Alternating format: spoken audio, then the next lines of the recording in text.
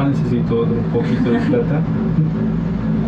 No, yo no, ya estoy tranqui, del mundo. Tu papi bien, ¿no? Es el mejor papá del mundo.